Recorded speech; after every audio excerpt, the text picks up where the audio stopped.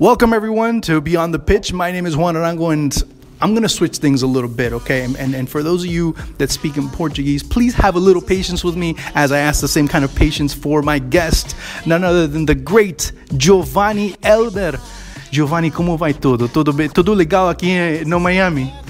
Tudo bem, é bom demais estar aqui em Miami, junto com o Bayern de Munique, tivemos já em Filadélfia, uhum. e agora o final da, da, da pré-temporada aqui em Miami é muito bom. Agora, qual é a sua experiência em Filadélfia? Como você vê o futebol aí? Como é, é, é uma, uma cidade que tem muitos, muitos torcedores de futebol. Como você vê o futebol aí? Olha, eu, eu acredito que aqui em Miami é, tem mais torcedores do que em Filadélfia do, do, do futebol. Uhum. Uh, acredito até pelos latinos que vivem aqui pela identificação que tem com Rames Rodrigues, com, com Vidal e com outros jogadores que, que estão com, com o Bayern de Munique. Então eu, eu ainda acho que Miami é melhor do que a Filadélfia. Ah, ok, ok. Eu não vou dizer nada. Algumas, algumas pessoas que eu conheço aí em Filadélfia, mas tudo bem, tudo legal. Um, quando você é um jogador vindo da América do Sul, você tem que fazer uma adaptação ao jogo na Alemanha, ao jogo na Bundesliga, a vida na Bundesliga. Quando você chegou aí, qual, qual foi o, o, o, obstáculo mais grande que você tem que, que conquistar, que você tem que, que, que, que superar para poder chegar a ser o, o jogador exitoso que você foi? Olha, eu acho que o obstáculo maior que existe é a língua, é a barreira de linguagem uhum. que, que existe de você não compreender os seus companheiros, uhum. não entender o que, que a imprensa está falando a respeito de, de, jogos que você realiza. Então, por isso que eu, eu sempre falo para todos os jogadores, até os jogadores jovens que chegam no Bayern de Munique, aprende o idioma que depois as coisas ficam mais fáceis. E agora, você como uma lenda do, do time, uma lenda do clube, como você ajuda, ou, ou, ou, se você pode ajudar alguns jogadores, como James Rodrigues, como Vidal, como qualquer que, que chega aí, você qual, qual tipo de, de conselho dá aos jogadores para poder superar esse problema da cultura, ou não é problema, mas a cultura da Alemanha, a cultura, a língua da Alemanha também?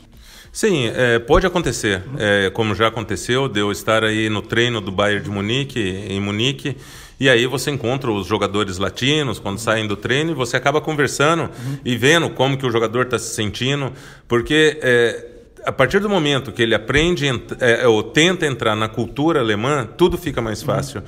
Se ele colocar essa barreira que ele não quer entrar na cultura alemã, não quer aprender o idioma, é, fica muito difícil. Uhum. Aí até o futebol dele não consegue ser um, um bom desenvolvimento no campo por causa dessas barreiras que existem. Então, é, acho que o mais importante mesmo é estar tá aprendendo um idioma, é, dar um passo para entender os alemães por que fazem certas coisas que nós latinos não, não fazemos, Sim. mas isso tudo é questão de cultura. Sim. Giovanni, uma das coisas que, que um, um, um, tem que ver de Bayern de Munique quando você estava jogando, ou quando você começou a jogar aí, a comparação de quando, como o time agora, como é a marca, o brand de Bayern de Munique. Como você vê essas mudanças, essa mudança de ou evolução do Bayern Munich como como um time, como uma marca internacional? Como como você vê agora como a lenda do time? Isso? Olha, o Bayern de Munique sempre foi uma equipe, ou a equipe da Alemanha mais conhecida fora da Alemanha.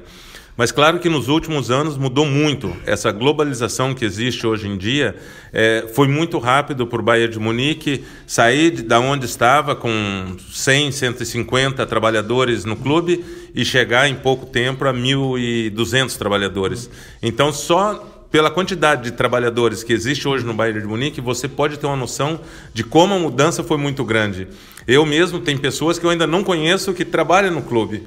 É, e antes a gente conhecia todas as pessoas que trabalhavam pelo nome. Hoje tá, já está mais difícil, porque hoje é uma empresa é, muito grande. Muito mais nomes que, que, que, que lembrar, não? Então, então o clube cresceu muito, mas cresceu de uma forma organizada. O Bayern de Munique não perdeu as suas raízes, a sua origem.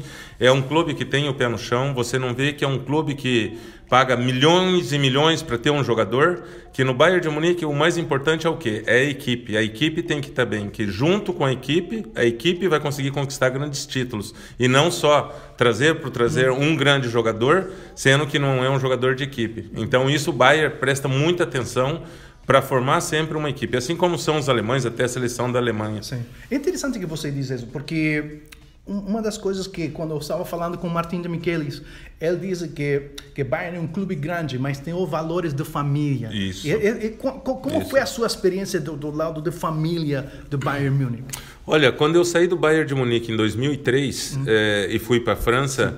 o presidente na época, o Uli Hoeneß, pegou e falou para mim, olha, tá doendo no meu coração, Sim. mas chegou a hora da gente se separar isso é quase como um casamento, que às vezes não é duradouro.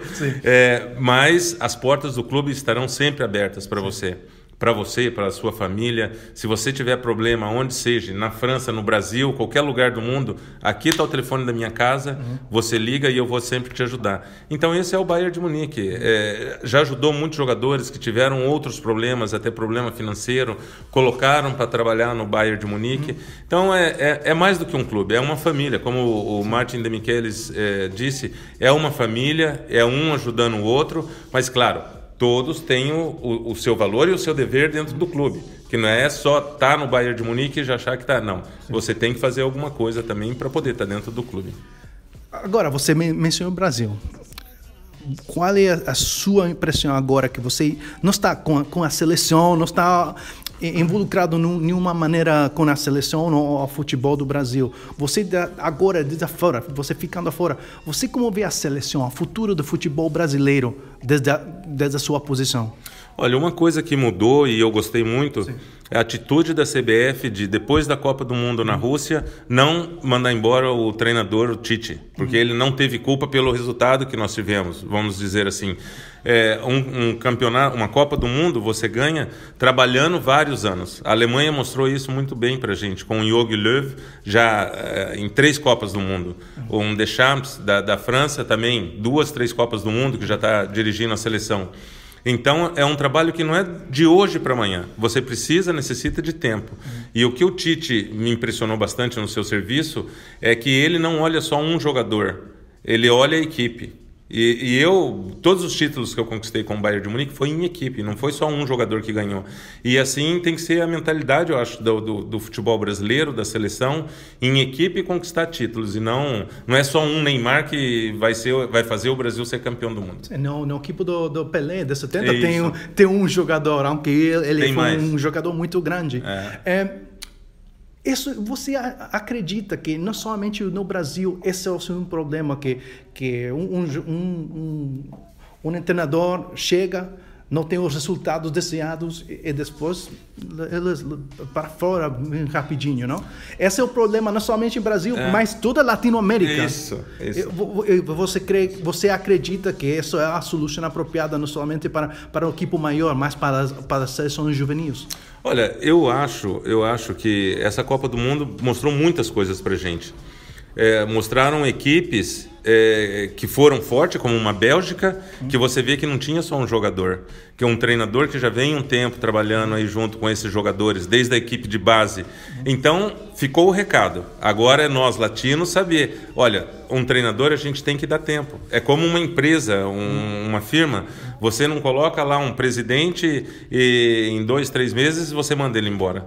Você tem que dar tempo para trabalhar, para conhecer as pessoas. E no futebol é a mesma coisa. E se você consegue consegue fazer esse trabalho desde a equipe de base, de, de jovens, até o profissional, com certeza, quando, quando, chegar no profissional, você terá muito êxito. Agora, é, do dia para a noite, um treinador chegar e ganhar títulos é muito difícil. Hoje em dia é muito difícil. O futebol está muito competitivo e a Copa do Mundo mostrou para gente que você tem que estar tá numa equipe unida uhum. para poder conquistar. Que é, mostrou a Inglaterra, mostrou a Bélgica, a França acima de tudo uhum. e equipes com um jogador só, vamos dizer assim, como Portugal, como é, Argentina. Argentina, até o Brasil ficaram pelo meio do caminho. Última pergunta, Giovanni, um prazer ter você no programa.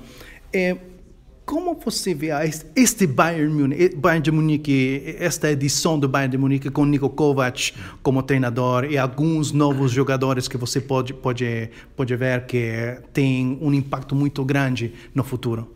Olha, o Bayern de Munique, primeiro, eu acho que fez muito bem em trazer o Niko Kovac. Uhum. É um, um, treinador que demonstrou já o seu valor com a seleção da Croácia na Copa do Mundo em 2014. É, mostrou com o Frankfurt que no campeonato passado até é, eliminou o Bayern de Munique na final da Copa da Alemanha e foram campeões. Então é um treinador que já jogou no clube, ele sabe a pressão que existe, ele sabe que tem que vive um treinador do Bayern de Munique de resultados e agora é esperar que os jogadores sigam o seu pensamento, porque ele teve êxito por onde ele passou. E se os jogadores do Bayern, que já são jogadores conhecidos mundialmente, seguirem o pensamento do treinador, eu acho que vamos conquistar muitas coisas ainda. Giovanni, muito prazer, mas eu tenho que dizer uma coisa antes de terminar. Você é a primeira entrevista que eu faço em português. Pô, parabéns. parabéns. Muito bom. Muito, muito bom. Não, muito obrigado. Eu tenho um, bom, eu tenho um muito bom invitado. Ah. Um, muito prazer, Giovanni. É sido um prazer falar com você. É um prazer. Um abraço a todos. I, I,